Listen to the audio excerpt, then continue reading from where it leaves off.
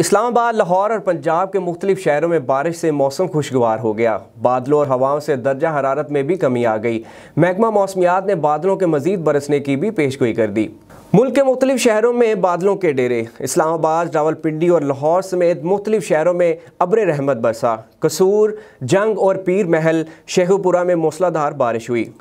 آباد گوجرا ظفروال، صفدر آباد میں بھی بارش سے موسم خوشگوار ہو گیا۔ موسم کا حال بتانے والوں نے آج لاہور سمیت پنجاب کے مختلف شہروں اور اسلام آباد میں مزید بارش کی پیشگوئی کی ہے۔ خیبر پختونخوا میں ایبٹ آباد، ہری پور اور مانسیرا میں تیز ہوائیں اور گرج چمک کے ساتھ بادل برس برسنے کا امکان ہے۔